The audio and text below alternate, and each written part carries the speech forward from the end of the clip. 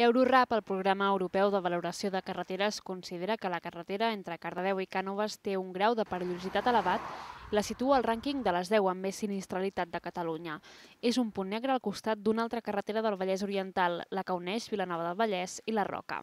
L'envelliment del parc mòbil degut als efectes de la crisi és una de les preocupacions del Servei Català de Trànsit. El parc mòbil de Catalunya està molt envellit, és, és l'època de tota la història en la qual el parc mòbil és més vell i per tant conseqüències directes de la sinistralitat pot venir d'aquesta antiguitat dels vehicles i per això aquesta campanya permanent nostra de que els vehicles estiguin en condicions i sobretot de que passin les ITVs. Les obres de la carretera de Canovas, en què entre altres mesures es preveu fer quatre rotondes i eixamplar la via, estaran acabades el proper mes de juny.